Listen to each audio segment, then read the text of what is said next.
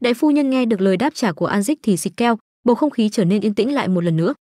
An Dích giật mình khi nhận ra mình đã lỡ nói ra suy nghĩ trong lòng, cô lẩy bẩy cầm tách trà, nội tâm cô đã gợn sóng, á đang nghĩ thôi mà nói ra mất rồi, không được dao động điềm tĩnh điềm tĩnh. An Dích sau khi bình tĩnh lại cố gắng giải thích, có gì đâu con cũng không mong muốn gì cả, con cũng đang suy nghĩ này kia nhiều. An Dích nhìn lên đại phu nhân, có vẻ như lời nói của cô không giúp tình hình dịu đi thì phải. Đại phu nhân Sasoni lúc này đã tức giận đen mặt hơn bao giờ hết, bà dùng ánh mắt căm phẫn nhìn An Dích. Đại phu nhân cũng không để cảm xúc chi phối mình quá lâu, bà nhanh chóng quay trở lại bộ dạng người mẹ hoàn hảo cất lời, "Ừ ta hiểu rồi, ta sẽ làm như con muốn." An Dích hoảng sợ không nói được lên lời, gì chứ sợ quá thì trong tích tắc đã bình thản như cũ rồi, cái đó còn đáng sợ hơn.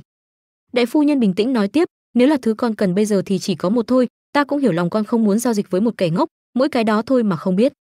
An Dích đổ mồ hôi suy tư, tuy ra vẻ bình tĩnh thế kia nhưng nghĩ lại cái biểu cảm vừa nãy, tuy vậy cô vẫn nhẹ nhàng trả lời, "Mẹ lại chăm sóc cho con thế này thật vui mừng không kể xiết."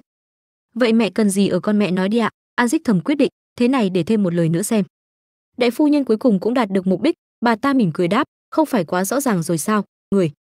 "Người người gì?" An Dích không hiểu ý chỉ có thể nở nụ cười gượng gạo. Đại phu nhân cũng nhận ra điều ấy, không lòng vòng mà đi thẳng vào vấn đề, nói thế mà vẫn hơi thiếu ư, "Được ta biết tổng con rồi, để ta nói trước kia con hỏi là vì sao cần người nhé." An Dích con đã cưới công tước và lót được 8 năm, có đứa con 7 tuổi rồi đúng không? Đó là thời gian mà nền tảng của con đã được củng cố vững chắc, vậy mà con vẫn bị Valot coi như một đứa trẻ thôi đúng không? Vì để thời gian dài lãng phí mà con vẫn chưa có một thế lực nào cho bản thân cả. Những lời không kiêng dè của đại phu nhân Sasoni khiến Anzik bất giác giật mình. Đại phu nhân không đợi cô đáp mà tiếp tục, con chỉ có mỗi cái tên là phu nhân của Valot thôi, chẳng có lấy một người theo lệnh con và chỉ trung thành với con cả. Chỉ với cái tên Valot thì đâu làm được gì đâu, may mắn cho đến giờ là đường sinh mệnh của con vẫn còn dài thôi. Con không biết chứ gì, nếu công tước tìm được một ả nào đó về làm thiếp và ta lại còn sinh con nữa thì vấn đề là chia bè phái để giành quyền thừa kế đó. Khi xảy ra chuyện đó thì không có ai ủng hộ con thì con nghĩ mình có sống bình an được không? Đại phu nhân dứt lời cũng là lúc bầu không khí trở nên lạnh ngắt, An Dích thất thần ngồi trên ghế im lặng không đáp lời. Đại phu nhân tiếp tục dẫn dắt câu chuyện, vậy nên giờ con chỉ cần có người của con thôi, là người dù có chuyện gì xảy ra trong nhà công tức cũng sẽ đứng về phía con. Và con cũng biết là ta mẹ của con là người thích hợp nhất để giải quyết chuyện đó đúng chứ? Không phải vì thế mà đang bàn riêng với ta đây sao? Đại phu nhân dứt lời để lại An Dích vẫn đang ngây người xử lý thông tin. Cô nhíu mày tự chấn tĩnh bản thân, tỉnh táo tỉnh táo, mình đã biết đây chính là thế giới như thế mà, chỉ là đang yêu chiều đứa bé nên không để ý thôi chứ không phải không biết. Là chuyện có thể xảy ra, phong người khác làm thiếp hời hợt với phu nhân, mình đọc nhiều rồi mà không có gì phải sốc cả.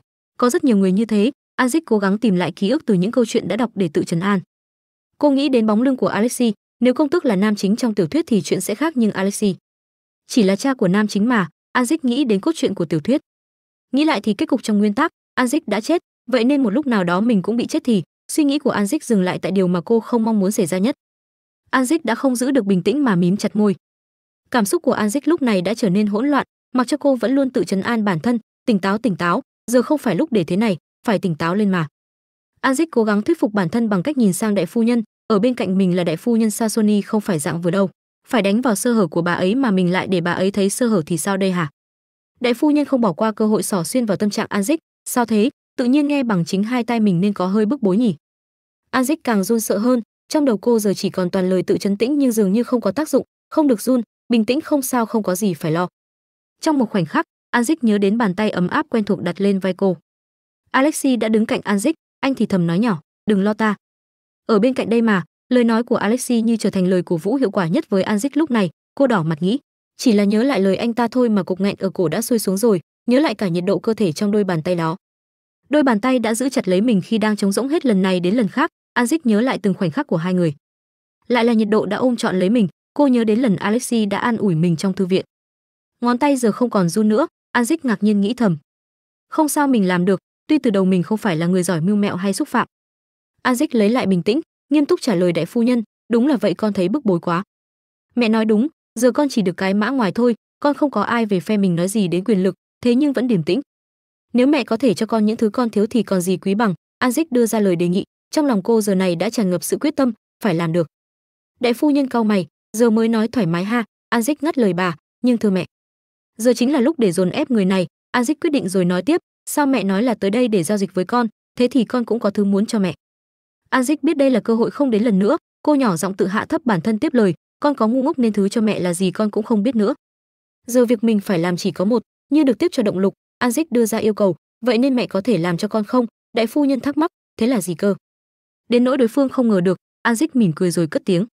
không cần con nói mẹ đã nói hết cả rồi lời của Anzik khiến bầu không khí lại thay đổi một lần nữa đại phu nhân mở to mắt bất ngờ Anzik nghĩ thầm cho thấy dáng vẻ không biết xấu hổ là gì không thể kiềm chế được nữa đại phu nhân Sasoni lớn tiếng quát ngươi đang trêu đùa ta đó à an thầm nhớ lại khoảng thời gian ngắn ngủi vừa rồi thái độ của đại phu nhân quá cứng nên suýt nữa thì bị cuốn theo rồi cô giả nai ngây thơ đáp dạ làm gì có chuyện đó, con thật sự không biết mà. An dích tự tin thầm nghĩ, từ giây phút đầu tiên đại phu nhân tới tìm mình thì đã quyền nắm giữ cuộc nói chuyện này là của mình. An dích xảo quyệt nhẹ giọng, mẹ đã trực tiếp đến để gặp con mà. Vậy nên đừng lãng phí thời gian nữa, mẹ nói thì tốt biết mấy. Đại phu nhân bị bắt bài thì nhân mặt khó chịu. Mình cứ thoải mái thả bẫy là được. An dích tự tin làm chủ cuộc đối thoại. Đại phu nhân ở thế bị động chỉ có thể ấp úng, ta con muốn giữ im lặng. Đại phu nhân bị ép đến bước đường cùng gần giọng nói bà ta khó chịu nói toẹt ra mong muốn của mình. Chuyện từ tức phu nhân ivan đã gây ra sự thật là ta có liên quan đến nó. Ta muốn con sẽ giữ im lặng mãi mãi. Anzik có chút bất ngờ trước lời nói của đại phu nhân. Cô dè dặt hỏi lại, vừa nãy mẹ đã tự mình thừa nhận chuyện bản thân đã thông đồng với phu nhân tử tước ivan.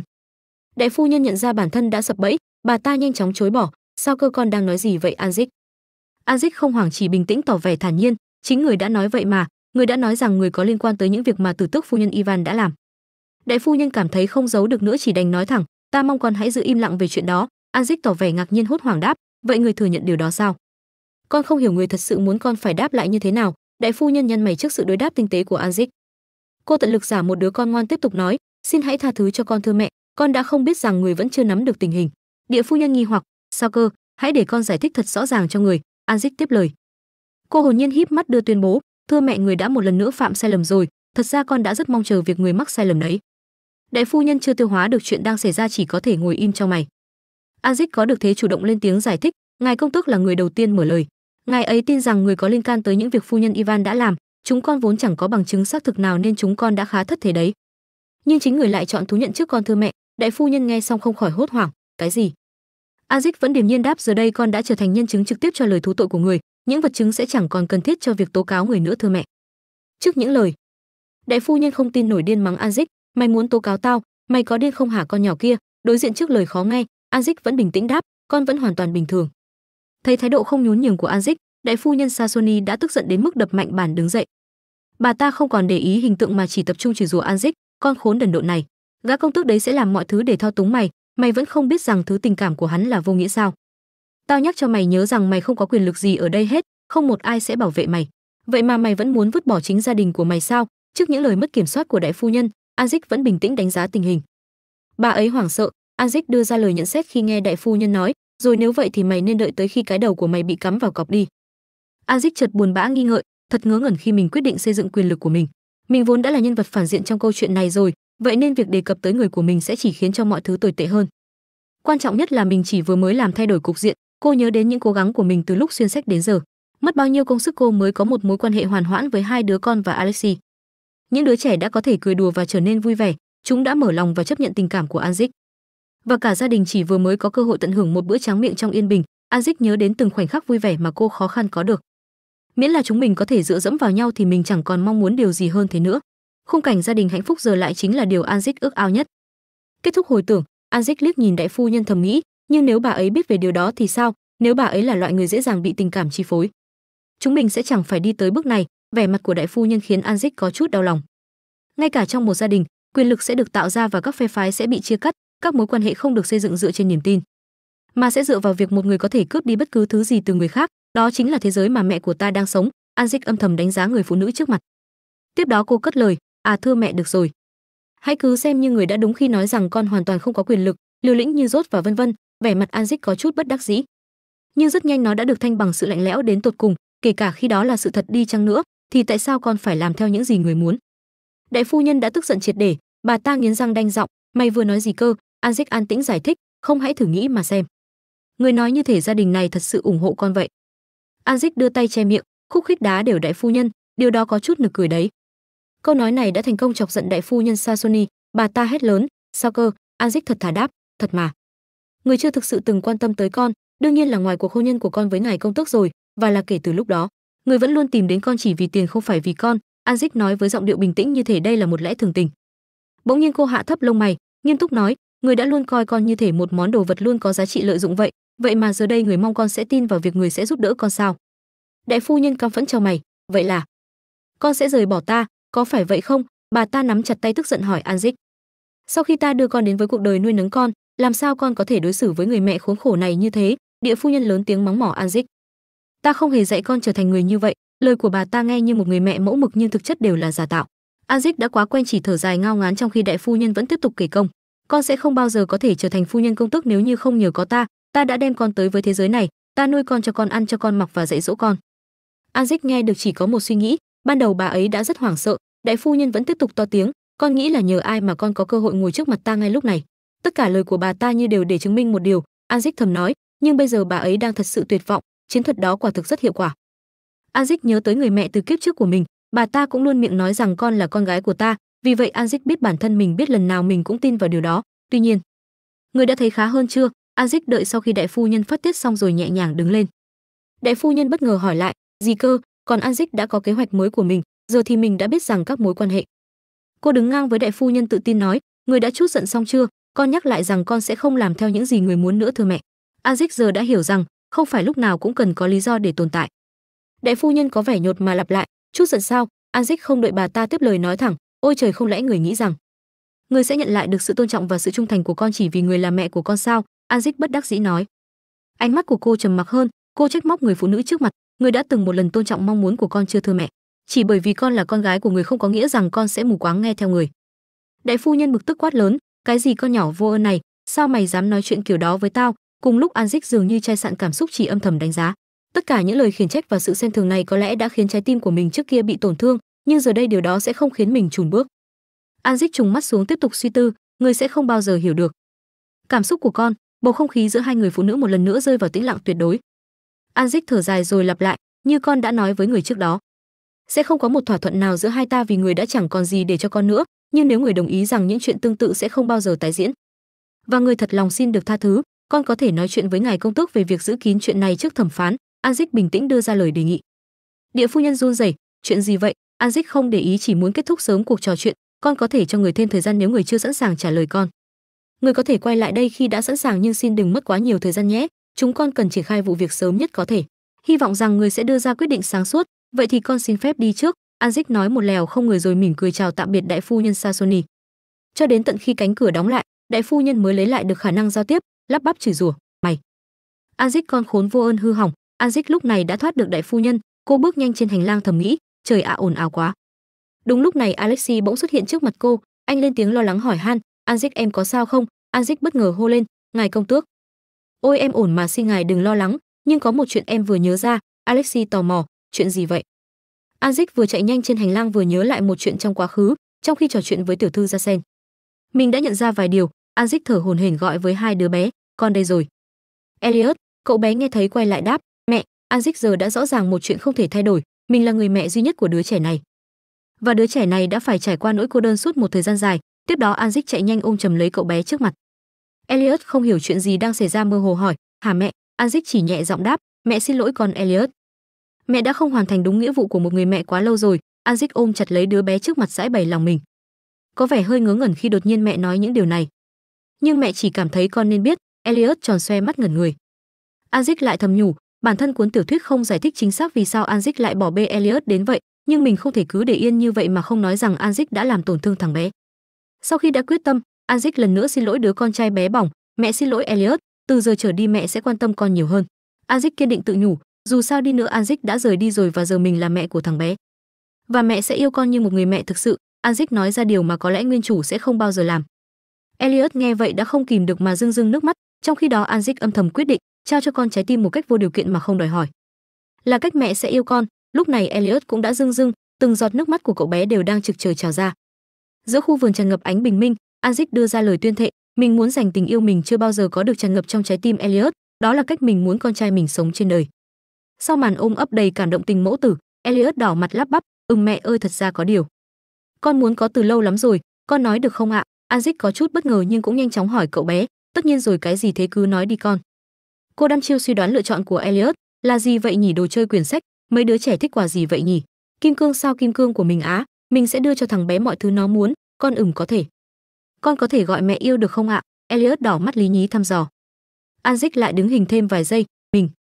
Mình gục ngã mất thôi, trái tim mình không thể chịu nổi sự đáng yêu này, nội tâm của Anzik gào thét. Cô ấy đã gục ngã mất rồi, Aziz đang chết chìm trong sự đáng yêu của cậu nhóc đến mức bật khóc. Thằng bé dễ thương tốt bụng và đáng yêu quá đi mất và thằng bé còn là con của mình nữa, mình sẽ bị bệnh tim thôi. Không nghe được phản hồi từ Aziz, Elliot lên tiếng, "Ừm nếu mẹ không thích thì." Không để cậu bé nói hết câu Aziz sực tỉnh lại lên hồi đáp, "Hả không muốn gì cơ, mẹ muốn con nói mà thật sự đó." "Con có nghe không Elliot, tim mẹ đập bịch bịch đây này." Elliot không hiểu hoang mang hỏi, "Mẹ cái gì cơ?" Trong lúc đó Liliana đứng bên cạnh đã ồ lên như nhìn thấu hồng trần, "Ô mình biết cái này." Cô ấy nói như vậy khi bản thân cực kỳ vui. Liliana mỉm cười hạnh phúc thầm vui vẻ, "Tốt rồi Elliot, chúc mừng nhé." Aziz đúng lúc quay sang, cô nhìn Liliana rồi chợt lóe lên suy nghĩ. "Con cũng ra đây đi Liliana." Aziz gọi cô bé đến gần, "Vâng thưa phu nhân." Khi ta hạnh phúc chúng ta nên sử dụng hết sức để ôm chặt người khác như vậy. Aziz vòng tay ôm cả hai đứa trẻ vào lòng, cả ba đều vô cùng vui vẻ nở những nụ cười hạnh phúc. Trong lúc đó tại phòng làm việc của Alexi, quản gia kính cẩn lên tiếng, tài liệu người cần đã đầy đủ thưa ngài. Sau khi đọc qua một lượt, Alexi tóm gọn lại một vài ý chính, vì tội cố ý đánh cắp sổ sách tài chính của công tước, nữ tử tước Ivan sẽ bị bỏ tù và gia đình của cô ấy sẽ bị tước bỏ mọi danh hiệu, buộc rời khỏi thành phố. Cả gia đình đáng lẽ phải bị xử tử nhưng vì chúng ta đã yêu cầu sự khoan hồng nên sẽ không đến mức đó, tôi đoán thế, Alexi không biểu cảm đưa ra dự đoán. Anh chợt nhắm mắt rồi suy nghĩ, gửi đơn thỉnh cầu cho Mercy là ý tưởng của Anzik. Quay ngược lại quá khứ, Alexi đang nói chuyện cùng Anzik, cô lo lắng nói, em chỉ sợ rằng không biết Liliana sẽ phản ứng thế nào, cô bé còn quá nhỏ để tham gia vào một vụ án dẫn đến cái chết của một người. Con bé sẽ không biết cách giải quyết đâu, Anzik lo lắng không thôi. Alexi bỏ tài liệu sang một bên tiếp tục suy đoán, mặc dù nữ tử tước Ivan là một người phụ nữ đáng trách, Anzik đã đúng. Nếu Liliana biết được cô bé đã gián tiếp hại chết một ai đó, con bé sẽ cảm thấy lỗi ngay cả khi không phải chịu trách nhiệm, hoặc con bé thậm chí có thể cảm thấy tiếc nuối cho tử tước. Anh vừa nghĩ vừa tưởng tượng ra sự sợ hãi của Liliana. Alexi không chắc chắn tự hỏi, đây có thật sự là cách tốt nhất để kết thúc chuyện này không? Quản gia lên tiếng cắt đứt dòng suy nghĩ của Alexi, và ở đây chúng ta có lá thư của nữ hầu tước ra sen. Alexi vừa xem vừa đánh giá, hùng cô ấy viết thư tốt hơn tôi mong đợi và còn có thư cho vợ tôi à? Quản gia cung kính trả lời, tiểu thư Gia sen đã nói tất cả những gì cô ấy định gửi, cô ấy tin rằng điều này là đủ cho lời xin lỗi. Alexi đáp lại, tốt thôi như ý vợ tôi, chúng tôi sẽ không tiếp tục kiện cáo tiểu thư Gia sen nữa.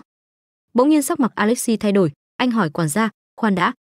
Sao ông lại báo cáo chuyện đó với tôi? Quản gia không hiểu bèn hỏi lại, tôi xin lỗi thưa ngài. Hóa ra ý của Alexi là, tôi đã mong sẽ được nghe điều đó từ vợ mình, nên tại sao tôi lại phải nghe điều đó từ ông? Quản gia nghe vậy thì không khỏi ngơ ngác, ông không ngờ công tước lại có mặt như vậy, ơ à thì ngài quá bận rộn, phu nhân biết điều đó nên người đã nhờ tôi chuyển lời trong khi đưa tài liệu cho ngài. Alexi đơn giản đáp một câu, tôi không bận đến mức đó, quản gia không chắc chắn hỏi lại, ý ngài là? Alexi bất đắc dĩ cau mày nói thẳng, tôi không bao giờ quá bận rộn để nói chuyện với vợ mình, ông nên biết điều đó khi là quản gia của tôi đấy. Lần sau cô ấy có nhờ ông chuyển lời nhắn gửi gì đó, đưa cô ấy đến gặp tôi nhé. Quản gia dù không hiểu sao công tước lại trở nên khó hiểu như vậy nhưng vẫn gật đầu đáp, tuân lệnh thưa ngài. Ông bỗng như hiểu ra chuyện gì mà đỏ mặt.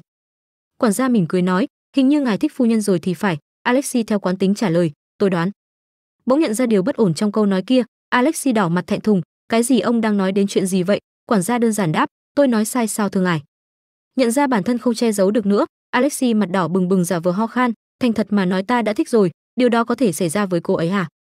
Quản gia thấy khích lệ, làm sao có thể không được thương ngài, ngay cả đôi mắt già nua này của tôi cũng thấy được ngài đối xử với cô ấy dịu dàng biết bao. Alexi bỗng trở nên hơi thất vọng. Đó là vì tôi là chồng của cô ấy. Cùng lúc nói ra câu nói ấy, Alexi đã hồi tưởng lại những hành động thân mật với azik Nhận thấy những suy nghĩ bất thường của bản thân, Alexi nói nhanh một tràng dài. Tất nhiên rồi tôi là chồng của cô ấy, chỉ là điều mà một người chồng nên làm thôi. Bên cạnh đó cô ấy cũng nói rằng mình sẽ cố gắng hết sức để xứng đáng là một nữ chủ nhân của căn nhà này mà. Quản gia thấy công tước nhà mình thẹn thùng nhưng không vạch trần mà chỉ cảm thán, ô hô hô tôi hiểu rồi thưa ngài. Thấy vậy Alexi thẹn quá hóa giận đập bàn đứng dậy, khuôn mặt đó là ý gì hả? Bỏ qua chuyện này, ông đi ra ngoài đi. Quản gia không chấp người đang yêu đương, ông cúi người rồi xin lui, chắc chắn rồi thưa ngài. Sau khi quay lưng lại với Alexi quản gia ngay lập tức thả lòng vui sướng, ôi vui chưa kìa, mình chưa bao giờ thấy bản thân thoải mái nhiều như vậy trong suốt thời gian ở đây. Cửa phòng đóng lại, Alexi cũng đã bình tĩnh hơn, anh cúi đầu rồi thầm nghĩ, chết tiệt. Sao mình lại mắng quản gia chứ? Chuyện gì đang xảy ra với mình vậy? Alexi vào đầu bứt tai trước hành động ngớ ngẩn của mình. Bỗng câu nói của quản gia lại hiện lên, hình như ngài thích phu nhân rồi thì phải. Alexi vẫy mạnh nhằm xua đi câu nói ấy.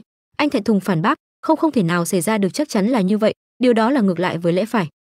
Alexi phân tích, đã 8 năm kể từ ngày chúng mình cưới nhau rồi, mình phải bắt đầu làm gì đây? Thích cô ấy bây giờ á, điều đó hoàn toàn vô nghĩa. Anh mệt nhọc với những thất thường này, sau khi bỏ kính ra anh tự nhủ, chắc hẳn mình đã hét lên vì điều đó thật vô lý, đó là lý do tại sao mình không còn là chính mình nữa. Alexi đã nghiện mà còn chối, không thể nào mình thích cô ấy được, không bao giờ. Cảm thấy như vậy với bất cứ ai trong suốt cuộc đời của mình được. và mình cũng chẳng còn ở cái tuổi để có thể bị lừa bởi những cảm giác trẻ con như vậy nữa alexi cố gắng viện mọi lý do lảng tránh lời của quản gia lại hiện lên ngay cả đôi mắt già nua này của tôi cũng thấy được ngài đối xử với cô ấy dịu dàng biết bao alexi đăm chưa tự nhủ mình chỉ là chồng của cô ấy và đang làm nghĩa vụ của một người chồng thôi alexi viện cớ đến chảy cả mồ hôi đó là lý do mình nghĩ về cô ấy và mong muốn làm mọi thứ cho cô ấy mình chỉ đơn giản là cố gắng hết sức để trở thành một người chồng đúng nghĩa thôi. Mặt liliana dầu dĩ tối sầm lại. Azic hỏi cô bé, sao vậy, lily? Gia sư mới không tốt với con sao? Cô bé ngoan ngoãn đáp, không ạ, cô ấy rất tốt bụng, nhưng con Azic lo lắng, sao vậy? Liliana ngập ngừng chỉ là con. Giống như đồ bỏ đi vậy, cô hoảng hốt hỏi, con nói gì cơ, con học câu đó ở đâu vậy hả? Sau khi nghe cô bé giải thích, cô thở phào nhẹ nhõm, vậy là con thấy tệ vì nghĩ mình không thể vẽ sao. Điều đó không có nghĩa là con có thể hạ thấp bản thân tay vuốt nhẹ lồng ngực tự trấn an. Cô nghĩ thầm, chỉ vậy thôi sao làm mình lo muốn chết?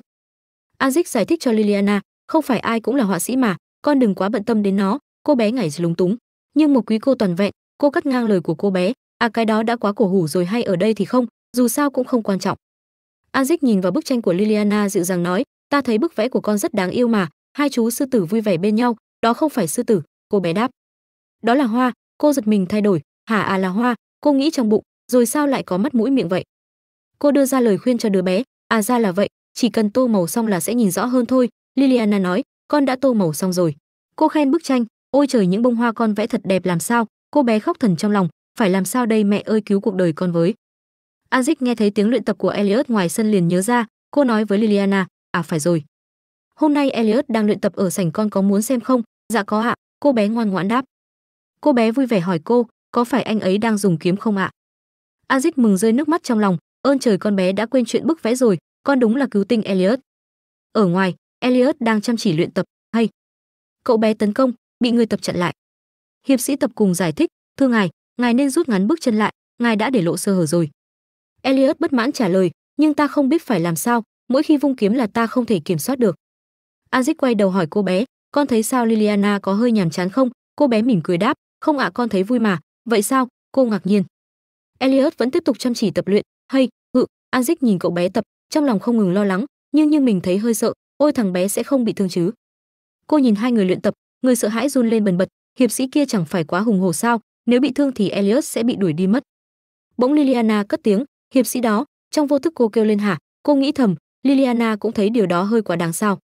Cô bé tiếp tục nói hẳn phải khó khăn lắm An ạch không hiểu lại kêu lên một tiếng hả Liliana giải thích Elliot không hiểu chỉ dẫn của ông ấy ông có vẻ ông ấy muốn anh ấy đánh mạnh hơn, nhưng anh ấy lại dồn hết sức mạnh vào cú vung. Cô bất ngờ không biết nói gì. Chỉ hà hà. Nếu Elliot tiếp tục làm vậy, anh ấy sẽ chỉ mệt lử và không học được gì. Ôi con có nói quá nhiều không ạ? Cô bé giật mình nói với Anzik Liliana quay sang, ngại ngùng nói ẩm dạ thưa. Vẻ mặt của cô nhìn cô bé vô cùng hãnh diện, trong lòng tự hào, Liliana của ta là thiên tài. Cô bé hỏi Anzik sao vậy ạ? À? Anzik về, gặp quản gia và đề nghị cho Liliana được tham gia buổi tập cùng Elliot. Ông trả lời cô chuyện đó nên được bàn bạc với công tước ạ. Cô bất lực chất vấn, hả, tại sao? Cho con bé tham gia những buổi học của Elliot thì sao chứ? À đó không phải chuyện sẽ chấp nhận đâu ạ. Quản gia trả lời. Dù sao Liliana cũng là một cô gái trẻ Anzik không hiểu lời quản gia nói.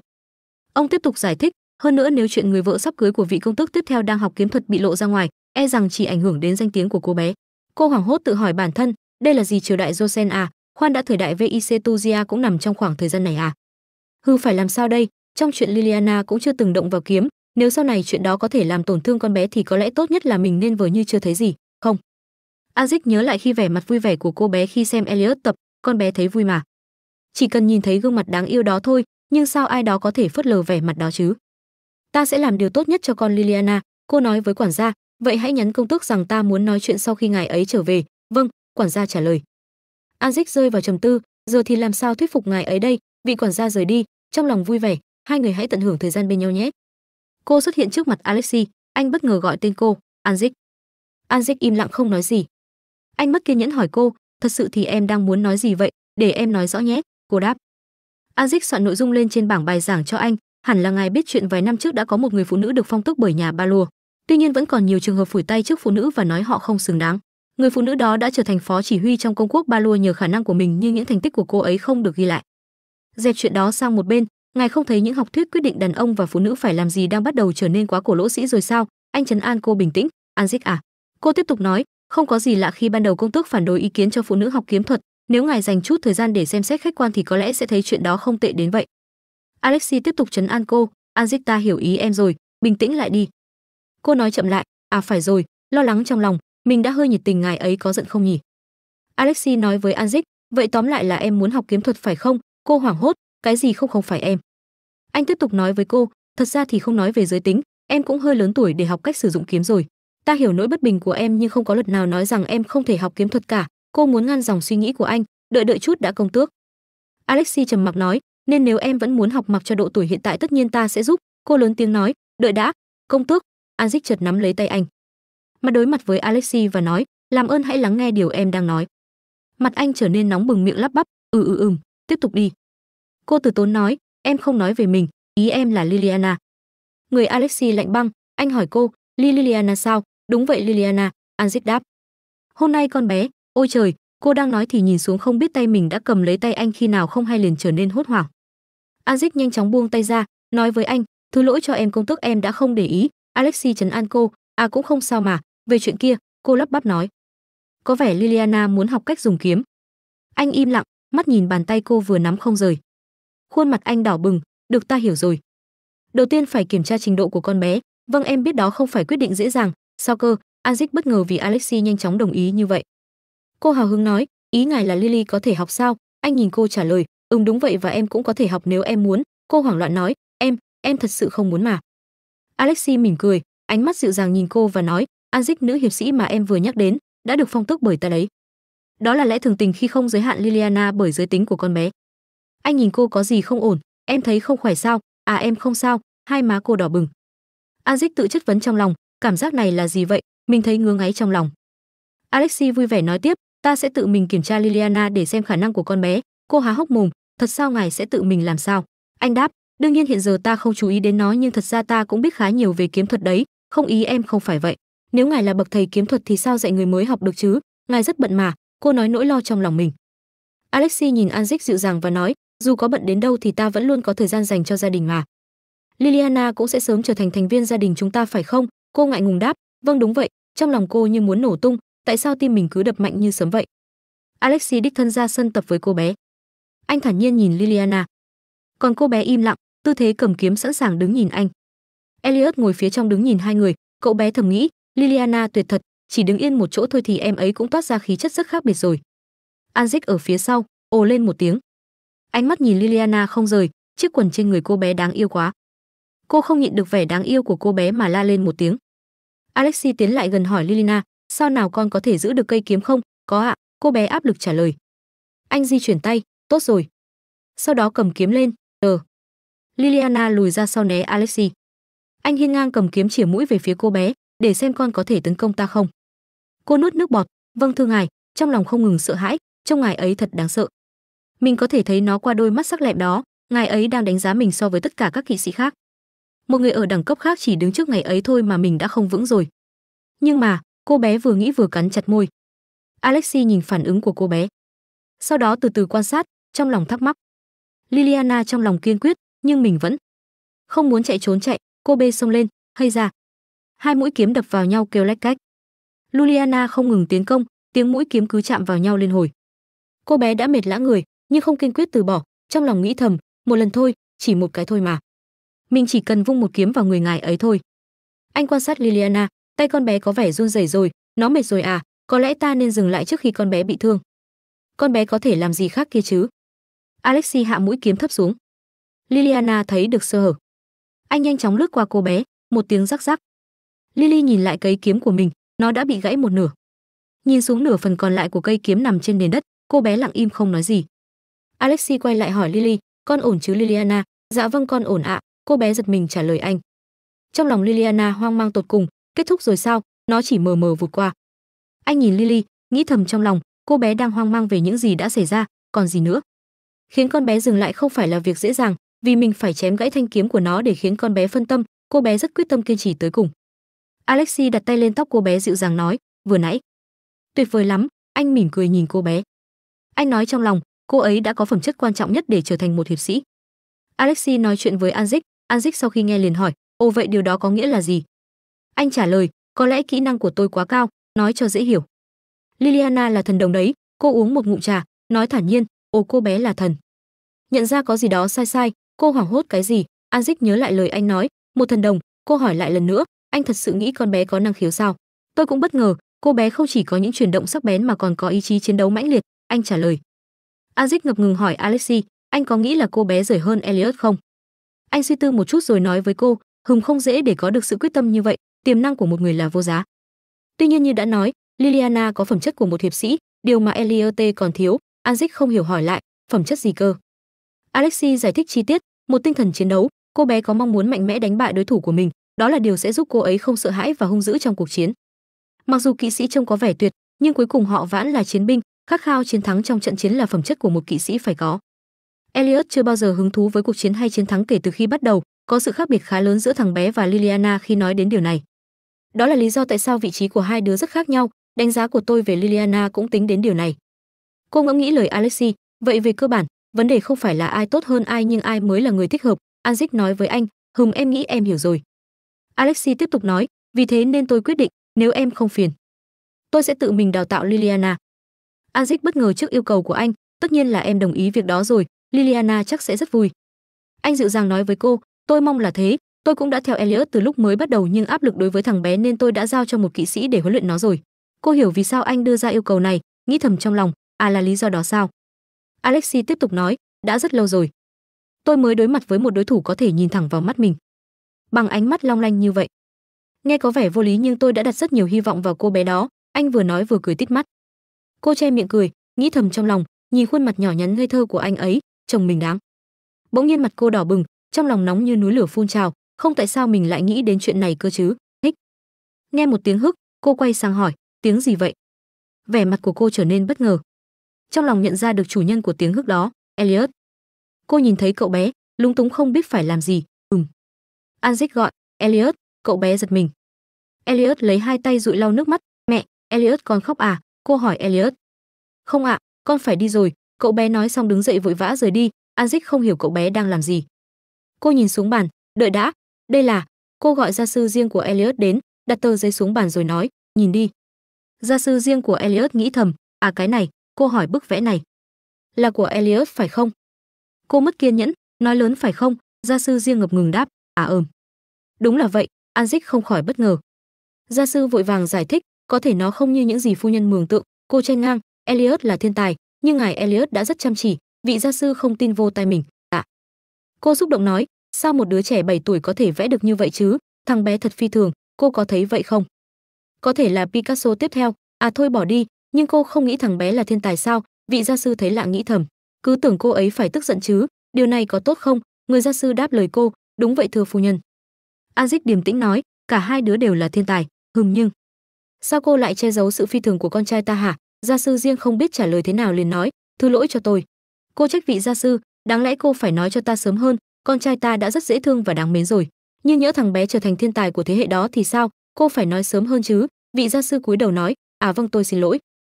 Aziz bình tĩnh ngồi xuống, hừm à ít nhất giờ ta cũng biết rồi, cảm ơn ạ, vị gia sư cũng bớt lúng túng hơn. Cô giáo mỉm cười, có lẽ phu nhân nói đúng. Nếu tôi biết phu nhân sẽ đón nhận chuyện này như vậy thì tôi đã nói ra sớm hơn rồi Aziz chất vấn cô giáo của Elliot, cô nghĩ ta sẽ không phản ứng tích cực sao? Vị gia sư nói từ tốn à lần trước khi tôi nhắc đến, phu nhân đã không vui khi biết ngài ấy có tài năng hội họa. Cô nghe vị gia sư nói liền hỏi lại, ta sao cơ?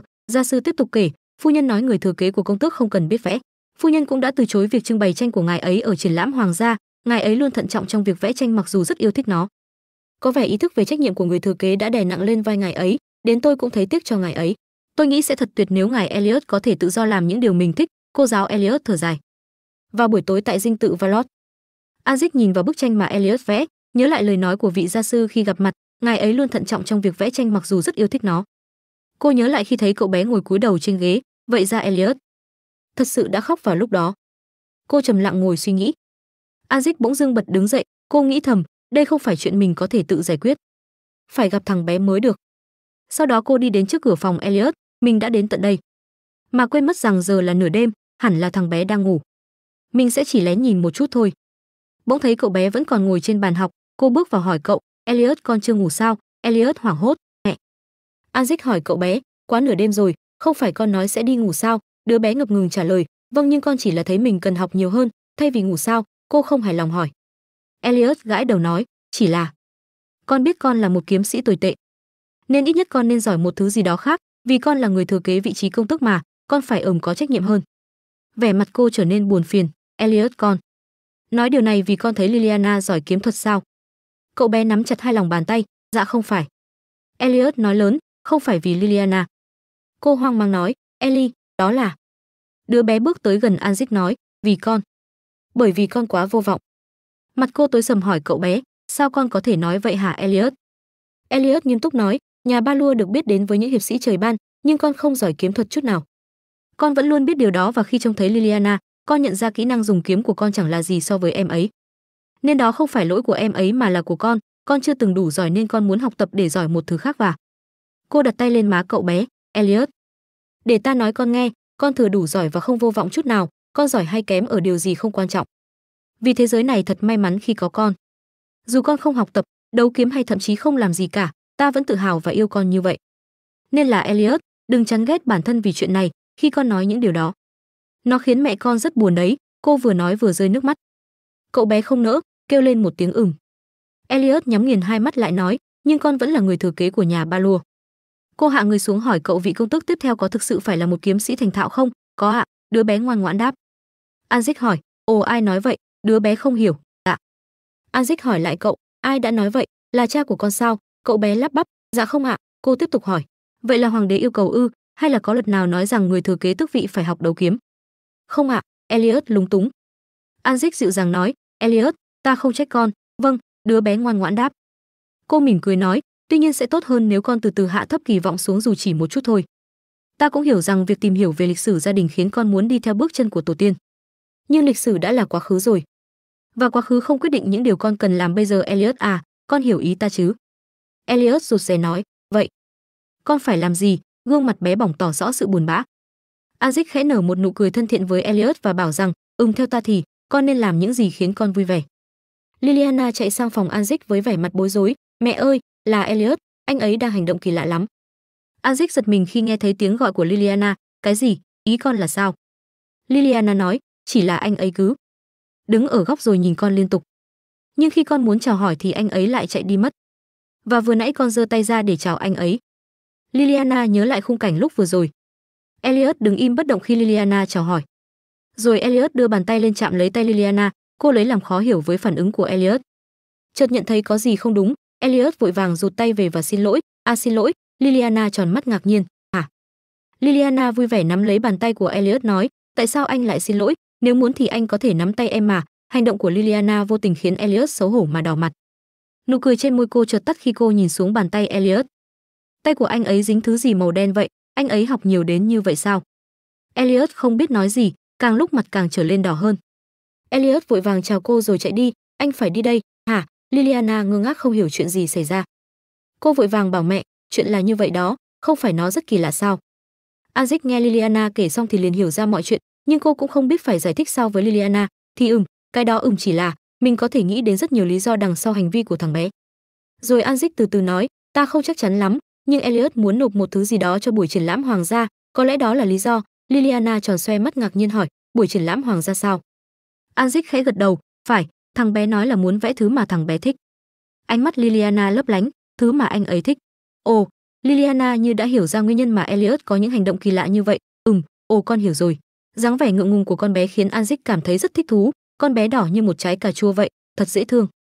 Vài ngày sau, lão quản gia già cầm bức tranh đã được đóng gói cẩn thận trên tay hỏi Elliot, tôi gửi cái này đi được chưa thiếu gia? Elliot trả lời, được rồi. Anzic từ phía sau tiến lại gần nói, Elliot con thật sự sẽ không đưa cho mẹ của con xem sao. Elliot vội vàng từ chối, con không thể, Anzic vẫn cố nài nỉ cậu bé, nhưng ta muốn biết. Elliot cúi đầu ngượng ngùng nói, nếu nếu con thắng giải thì lúc đó con sẽ cho mẹ xem. Anzik cảm thấy vô cùng xúc động trước dáng vẻ ngoan ngoãn đáng yêu của cậu bé, cô nói, Elliot, nếu có một cuộc thi dành cho sự dễ thương vô đối thì chắc chắn là con sẽ thắng đó. Rồi Anzik ôm chầm lấy Elliot vào lòng. Cậu không hiểu mẹ nói gì liền hỏi lại, cái gì vô đối cơ ạ? À? Anzik đáp, không đừng để ý đến ta.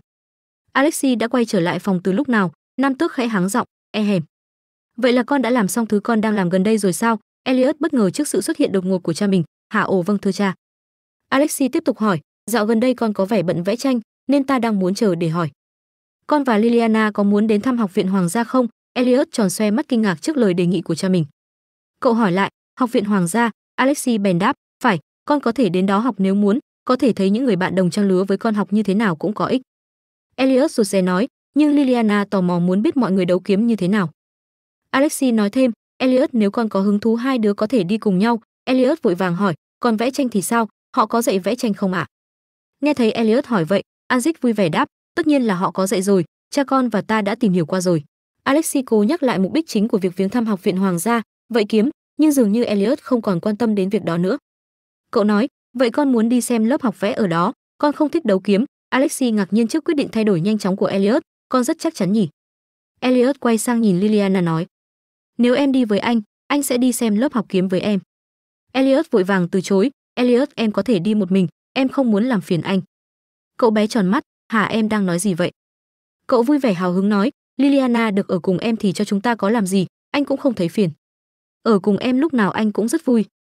Cô bé nhẹ nhàng trả lời, vâng ạ. Nghe những lời Elliot nói Liliana cảm thấy có chút xấu hổ, tim bỗng đập bình bịch bình bịch, khuôn mặt lại tự nhiên đỏ ửng lên không biết giấu vào đâu. Chứng kiến cảnh tượng dễ thương đó của hai đứa nhỏ, Aziz cũng thấy vui mừng mà thốt lên rằng, dễ thương quá, có người nên tổ chức một cuộc thi về độ dễ thương vô đối thôi, hai đứa nhất định sẽ đạt giải nhất, tim của mình.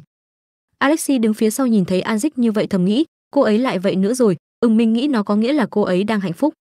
Vài ngày sau nữa, Aziz bước chân xuống từ kiệu xe. Cô hỏi, đến rồi sao? Alexi đỡ cô xuống và nói, phải đến rồi Anzik, đi thôi.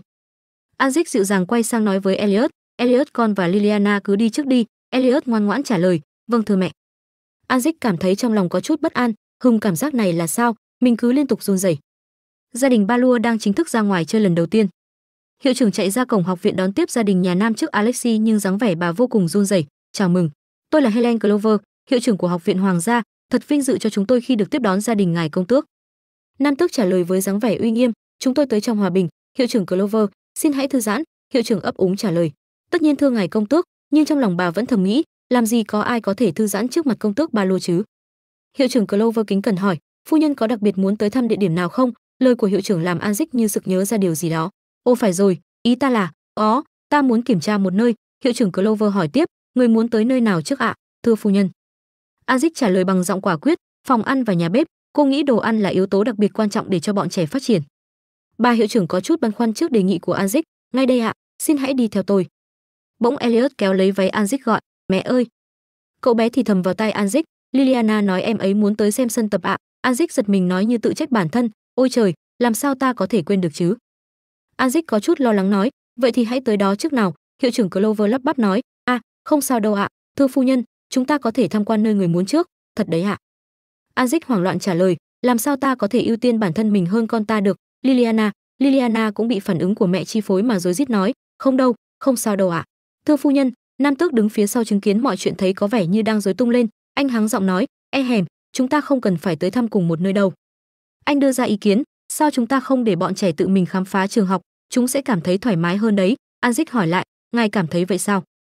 Cô quay sang phía hai đứa trẻ hỏi, các con thấy sao? Elliot và Liliana đồng thanh đáp, vâng ạ. Rồi Elliot nói, con sẽ chăm sóc Liliana thật tốt. Bầu trời trong xanh tỏa ánh nắng vàng rực rỡ chiếu sáng xuống khung cảnh học viện phía trước, tụi trẻ thốt lên, "Wow!" Nhưng có gì đó hơi quen quen, Liliana nói với Elliot, sân tập huấn của học viện hoàng gia trông giống hệt sân tập ở nhà cậu quay sang nói với liliana anh nghe nói học viên đã thiết kế sân tập dựa trên sân nhà chúng ta liliana ngạc nhiên hỏi thật sao elliot tiếp tục giải thích gia tộc ba lua vẫn luôn rất coi trọng nghệ thuật đấu kiếm vì vậy mà học viện đã học hỏi theo nhà ba lua chúng ta liliana trầm trồ ba lua quả là một gia tộc tuyệt vời em vẫn còn thấy ngạc nhiên thật tuyệt khi anh biết mọi thứ elliot elliot cười đáp anh là người thừa kế mà đó là những điều anh cần phải học liliana nhìn chằm chằm về phía trước không thấy huấn luyện viên nào cả liền hừm một tiếng nhưng mà Elliot ơi, chẳng phải bây giờ đang là giờ học sao? Elliot trả lời, ừm, chắc rồi. Nhưng anh không thấy có huấn luyện viên nào quanh đây. Liliana như nhận ra điều gì đó. À, ra đó là lý do. Elliot thắc mắc, lý do gì? Những học sinh đang luyện tập có vẻ chưa cố gắng hết sức, vì vậy mà em nghĩ rằng tiết học vẫn chưa bắt đầu. Elliot ngạc nhiên trước suy nghĩ của Liliana. Hả, Liliana, ý em là chỉ cần nhìn thôi em cũng biết sao, không thể nào. Từ phía sau bỗng phát ra tiếng nói phá vỡ sự tranh luận của hai anh em. Này nhóc, người có phải là Liliana không? Liliana Everett phải không? Ngươi ở đây làm gì? Thằng bé tóc vàng chỉ thẳng tay vào mặt Liliana hỏi. Elliot thầm nghĩ cậu ta bị sao vậy? Lúc này Elliot đang cảm thấy khó chịu về hành động của cậu ta. Elliot nói, ta nên hỏi cậu, dường như đã nhận ra cậu bé phía trước mặt. Liliana lên tiếng, đợi đã Elliot em biết cậu ta. Elliot tròn mắt ngạc nhiên quay sang nhìn Liliana hỏi, hả cậu ta là ai thế? Gương mặt Liliana chợt tái nhợt đi, cô Lý Nhi nói, rất vui được gặp ngài, ngài Peter Tonian. Elliot cau mày suy nghĩ, Tonian đó là tên của một gia tộc, nhưng mình đã được nghe ở đâu nhỉ? À. Cha đã kể về hôn ước giữa họ và nhà Jondini, cậu ta đã đính hôn với con gái của nam tước Jondini. Mình biết rằng người nhà Jondini đã từng bắt nạt Liliana. Điều đó có nghĩa là con gái của họ Janet cũng đã từng tham gia vào chuyện đó. Tên tóc vàng cười khinh miệt, lớn tiếng nói, làm sao mà trong vô số người thì ngươi lại được bước chân vào học viện hoàng gia? Và ngươi đứng xem các học sinh đấu kiếm để làm gì? Elliot đang sâu kết các dữ liệu, nếu Peter Tonian là vị hôn phu của Janet Jondini, có nghĩa là cậu ta cũng đã giúp Janet bắt nạt Liliana. Trước thái độ khinh miệt đó của Peter Tonian, Liliana sợ sệt trả lời, tôi tới để tham quan lớp học đấu kiếm. Peter Tonian cười ngạo nghễ tỏ ý coi thường trước câu nói của Liliana, ngươi sao, tới thăm lớp học, ngươi đúng là một kẻ nói dối tệ hại. Peter Tonian dùng những lời lẽ xúc phạm nhất để nói Liliana, tại sao mà một kẻ từng phải cọ sàn nhà lại được phép đứng nhìn bỏ ta, và tại sao một kẻ yếu đuối như ngươi lại muốn tới xem, đến cả con chó cũng phải bật cười đấy. Liliana bé nhỏ như rủ số trước những lời nói cay nghiệt mà Peter Tonian dành cho mình. Vẫn chưa buông tha cho cô, hắn tiếp tục nói, ngươi không được học hành và cũng chẳng có nhà ở, khiếp thật. Chắc hẳn ngươi chỉ được phép tới đây với tư cách là người hầu của ai đó đúng không? Ta nói có sai không? Rồi hắn nhìn cô từ trên xuống dưới cười mỉa mai, ta có chút ngạc nhiên khi cuối cùng ngươi cũng tìm được vài bộ đồ tử tế. Không chịu nổi những lời nói xúc phạm mà Peter Tonian nói về Liliana, Elliot ném thẳng vào đầu cậu chiếc găng tay nghe tiếng bịch. À. Bất ngờ bị một vật ném thẳng vào đầu, Peter Tonian không kịp phòng vệ hét lên. Cái quái, làm gì vậy? Cậu lấy làm ngạc nhiên khi đó là một cái găng tay. Ngẩng mặt nhìn về phía Elliot, cậu nói, đây là trò đùa đấy à? Elliot gần giọng nói, không không hề, hãy chuẩn bị vũ khí đi. Peter Tonian bất ngờ trước lời khiêu chiến. Peter Tonian không biết rằng kẻ đang bảo vệ Liliana là ai nên hỏi, hả cậu là ai? Elliot dõng dạc trả lời, ta là bị hôn phu của Liliana Everett, Elliot von Balur. Peter Tonian hoảng hốt trước câu trả lời của đối phương, Balur. Vị hôn phu, Peter Tonian cảm thấy có chút run sợ với những gì cậu sắp phải đối diện. Elliot tức giận nói, ta không thể tiếp tục đứng nhìn một thằng nhóc như cậu làm phiền vị hôn thê của ta. Vì vậy ta thách đấu cậu, hãy đưa cho ta một thanh kiếm gỗ. Peter Tonian thở hổn hển, lắp bắp trả lời, nhưng ửng tôi. Bỗng Peter Tonian lóe lên một ý tưởng trong đầu, khoan một trận đấu sao, chẳng phải đây là điều tốt sao? Nếu đây là một trận đấu tay đôi với một ba lua đã trưởng thành thì mình chắc chắn sẽ xong đời.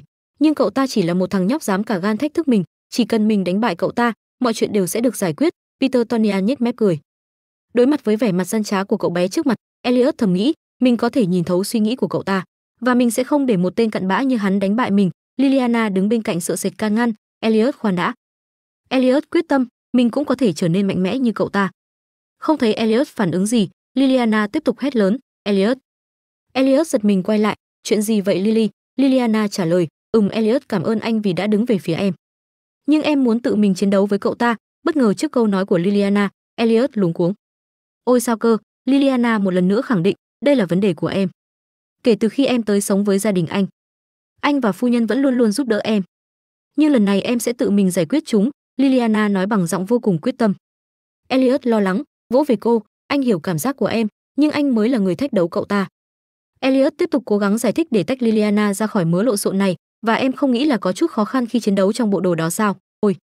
Bỗng từ đằng sau phát ra TIEG nói, con không cần phải lo về trang phục của em ấy, ta đã cho người đem quần áo tới cho con bé thay rồi. Cả hai anh em giật mình quay lại, nam tước Alexi đã xuất hiện ở đó từ khi nào, lắng nghe được hết câu chuyện. Peter Tonian sợ sệt cất tiếng nói, ngài công tước, hai anh em quay sang gọi, cha. Ngài Alexi mỉm cười khích lệ, thật may mắn Liliana, con vẫn luôn khao khát được biết về trình độ của mình có phải không, đây chính là cơ hội để con khám phá đấy. Liliana tròn mắt ngạc nhiên trước sự ủng hộ của công tước. Vâng đúng vậy thưa ngài công tước. Peter Tonian sợ hãi run rẩy với các câu hỏi trong đầu, công tước Balua, mình gặp rắc rối rồi sao? Bàn tay Peter Tonian run rẩy, không thể tin được. Chuyện này không thể xảy ra được. Cơ thể Peter Tonian run sợ co rúm lại khi bị lưỡi kiếm của Liliana chĩa về phía ngực cậu. Không thể nào. Trước đó, Hưng có thể ban đầu mình có hơi hoảng hốt, nhưng chỉ là vì công tước Balua đã xuất hiện thôi, Peter Tonian cố chấn tĩnh bản thân mình. Nhìn con bé trước mặt, cậu tự tin, giờ thì tốt hơn rồi, mình nhắm mắt cũng hạ được con bé này, nếu con bé ngốc này 7 tuổi như ngài Elliot thì trận đấu sẽ kết thúc nhanh thôi.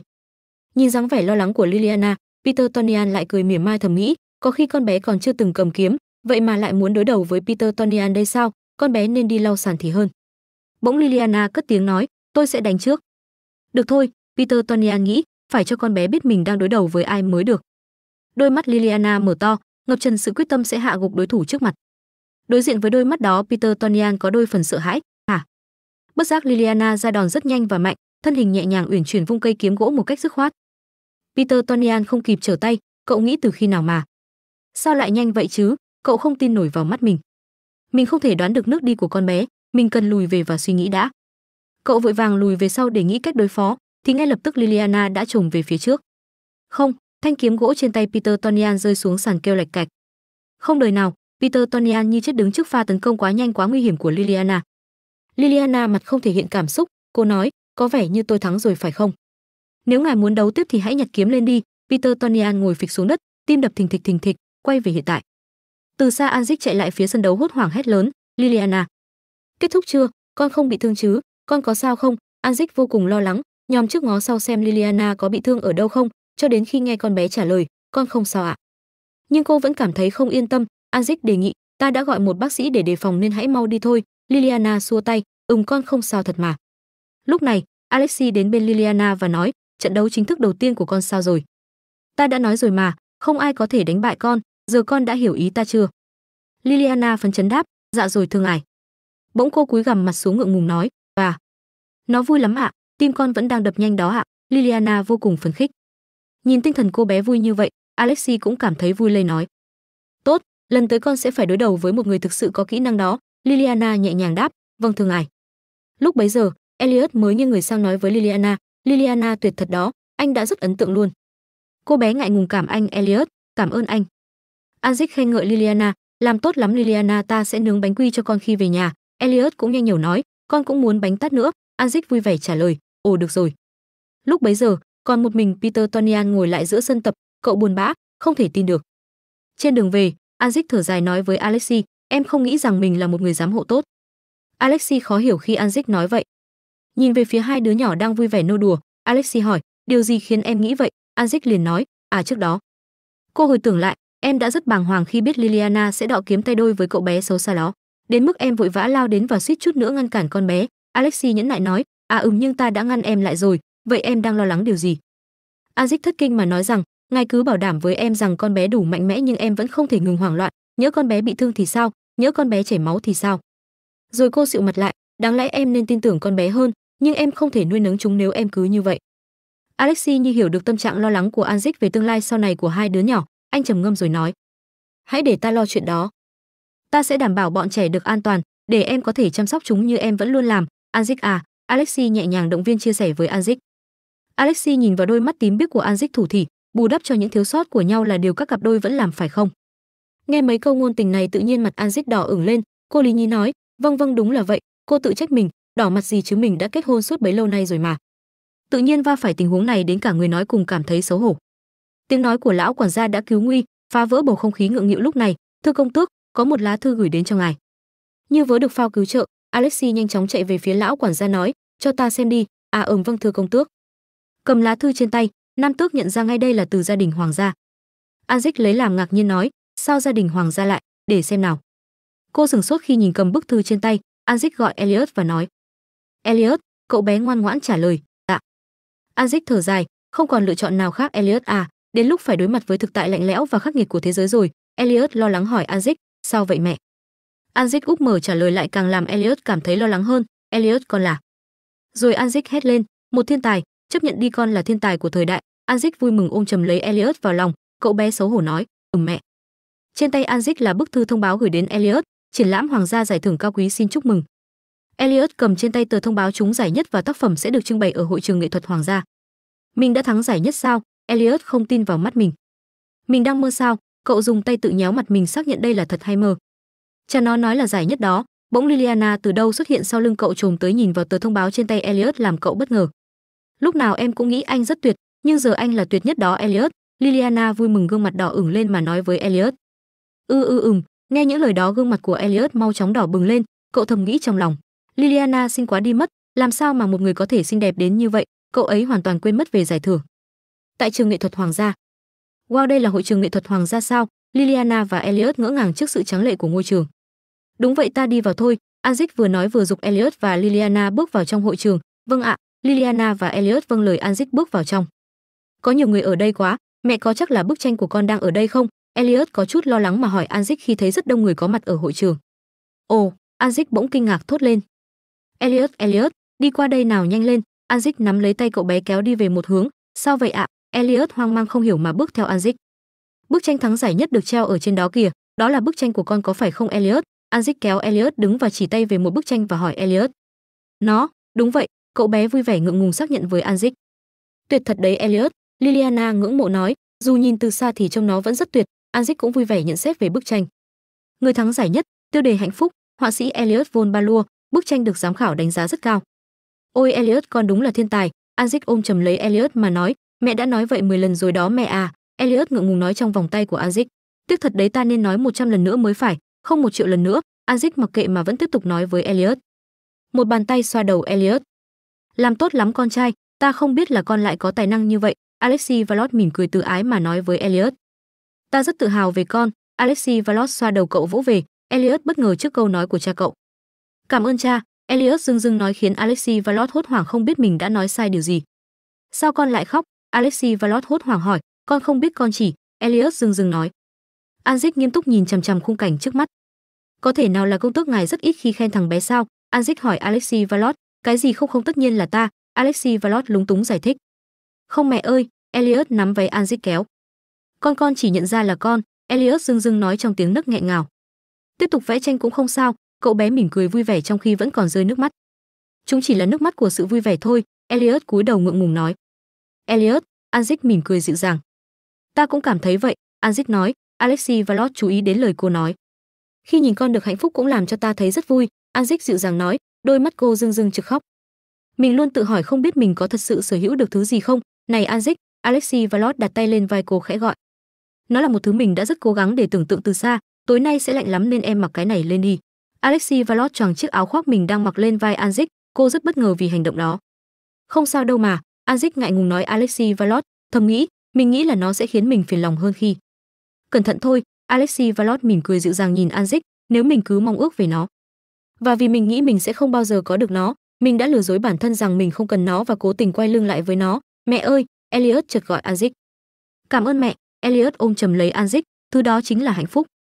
Elliot vừa ôm mình trước Anzic có chút bất ngờ và hạnh phúc trong lòng. Con đã không thể làm được nếu mẹ không khích lệ con nhưng mẹ đã làm vậy và đó là cách con có thể hoàn thành được bức tranh, Elliot vui vẻ, ngại ngùng nói với anzik và ngay tại đây vào lúc này, Elliot, đứa trẻ ngốc này, mẹ mới là người cần phải cảm ơn anzik cúi xuống cụng đầu với Elliot nhẹ nhàng nói. Lúc nào mẹ cũng nói vậy cả mẹ à Elliot khúc kích vừa cười vừa nói, niềm hạnh phúc đó đang dâng lên trong người mình. Nếu như những khoảnh khắc ngọt ngào này có thể tiếp tục vào cuộc sống chỉ toàn những lúc hạnh phúc, nếu như Alexi Valot anzik Elliot, Liliana hạnh phúc ôm lấy nhau. Mọi người đều biết rồi đồ ngốc, chợt có tiếng hét lên làm sao mà một người con trai 11 tuổi lại thua một cô gái 7 tuổi được chứ? Và không ai khác mà lại là Liliana Everett đánh bại anh nữa. Đúng là không thể tin được, cô gái tức giận mà chất vấn. Anh làm vậy thì trông em sẽ như thế nào? Em đã được hứa hôn với anh đấy. Anh định làm gì đây hả? Chàng trai xanh mặt run rẩy trước lời chất vấn của cô gái. Bình tĩnh lại đi, janet, có tiếng người nói. Anita, janet dừng lại quay sang hỏi lại người vừa nói. Tớ biết cậu cảm thấy như thế nào và tớ cũng rất tức giận. Vì người anh trai vô dụng này của tớ tớ xấu hổ đến mức không muốn quay lại học viện anita nhẹ nhàng xoa dịu janet. Thì sao chứ? Cậu đang nói là cậu thấy xấu hổ hơn cả tớ sao? Janet khi nghe những lời của anita càng tức giận hơn. Tất nhiên là không rồi, tớ chỉ vừa nghĩ ra một ý tưởng. Anita vội vã giải thích. Cậu có ý tưởng sao? Janet hỏi lại. Ừm, anita trả lời xác nhận. Một ý tưởng để đối phó với con nhỏ đó, liliana, anita gương mặt trở nên ác độc nói. Anita thì thầm vào tai janet kế hoạch gì đó. Janet chăm chú lắng nghe. Janet sau khi nghe xong kế hoạch của anita, cô ta cũng cười ác độc cười nói kế hoạch đó không tồi đâu đúng chứ? Cứ đợi đó đi liliana. Tôi mang bữa tối đến đây điện hạ, một người hầu cung kính nói, để đó đi. Chàng trai đang ngồi trên giường nói à phải rồi, anh ta chợt nhớ ra vấn đề gì đó mà gọi tên người hầu. Việc chúng ta nói lúc trước là sao vậy? Chàng trai hỏi, có vẻ họ vẫn chưa có tiến triển nào cả điện hạ. Người hầu cung kính trả lời hưng thật thú vị. Điện hạ khẽ cười, tay lắc nhẹ ly rượu mà nói, ta rất mong chờ xem ngươi sẽ làm gì đấy, ba lua. Đôi mắt điện hạ sắc lại, lạnh lùng nói